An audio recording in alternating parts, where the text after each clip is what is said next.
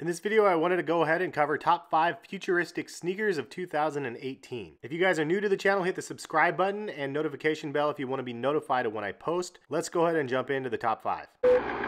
The number 5 spot goes to the Nike HyperAdapt 1.0 self-lacing sneaker. From concept to reality, the idea started back when Tinker Hatfield designed a pair of sneakers for the 1989 Back to the Future 2 movie, which is known as a Nike Mag. Fast forward to 2016 and we actually got a self-lacing Nike Mag in very limited numbers through a raffle on Nike sneakers, which I actually donated $100 to try to cop myself. From that, Tiffany Beers, a Nike designer, and Tinker Hatfield created Nike's first self-lacing sneaker to release, the HyperAdapt 1.0. The sneaker reads EARL, which stands for Electric Adaptable Reaction Lacing. They actually used the base of an Air Jordan 29 model, I believe, to fit the motor in since it had an aggressive cutout in the sole. There's actually a manual on how to utilize the shoe even. But does this shoe actually provide value in today's sneaker market? Maybe not yet, but the innovation behind it is what interests me. Tinker mentioned the concept of a basketball player being able to have his shoes unlaced automatically during a timeout or on the bench or while shooting free throws then zip immediately and tighten back up right as they needed to. And that's what I pictured for the future, and I think that that concept sounds pretty cool.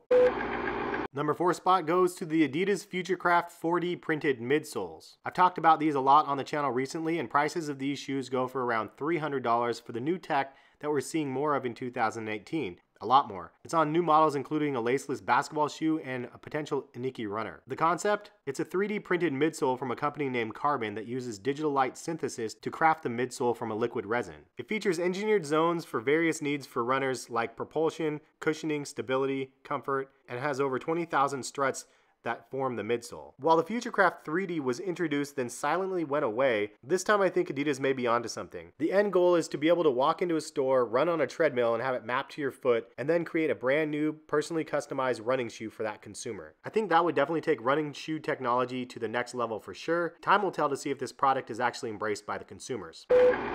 So the number three spot goes to the Enko running shoe, which I previously mentioned as a sneaker gimmick. The retail of these cost $372. The company boasts that this is a technology running shoe for comfort and power and high performance shock absorption. You can adjust the weight for the user, you can set it for walking versus running mode, and it has replacement studs on the bottom for your shoe. They raised $107,000 on the Indiegogo campaign for this shoe. It really looks like a futuristic Nike Shox. While it does probably deliver some sort of shock absorption, the reality is this is not a shoe that probably the everyday runner will be able to use, but maybe there's a niche market within the running community that actually can find value into what the Enko running shoe offers.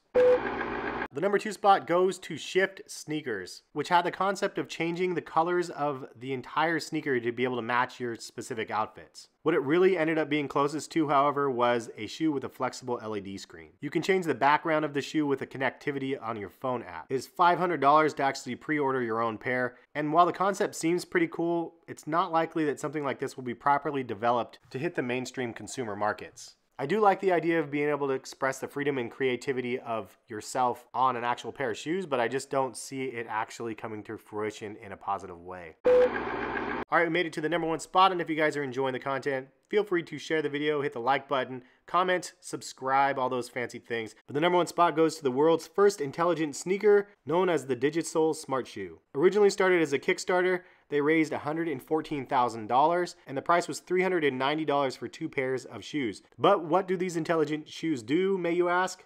Let me tell you. You can actually use an app to tighten the shoe. It has Bluetooth to connect to the phone for various analytics like cushioning and steps. It has a USB charger in the shoe and it has an LED light button and it regulates the heat in your foot. I think that's probably the craziest thing that we've heard about. Self-tightening through an app seems like more of a hassle than anything though. And if you're gonna have analytics for steps and whatnot, you might as well just use like a Fitbit. I think that the idea of coming to the digital age was something that was kind of interesting to hear about. However, the overall development of the shoe just seemed to be lackluster. They did, however, evolve a bit and create two insoles, one that has a smart insole and the other one that actually has a heating insole. And I think that that might have more value add than the entire smart shoe. The fact that you have a self-heating insole is kind of a cool idea. Like air conditioning for your feet would be rad. But all in all, the technology that they're actually offering versus what they really thought they were going to be offering just varied too much. Who knows what the future could hold though? They could actually end up creating something really cool. But that is my top top five. Leave some comments. Let me know what other future sneakers are out there that you guys have heard of or seen. And this was a fun list for me to be able to research. Hopefully you guys enjoyed the video. Anyways, thank you guys for stopping by and watching the video.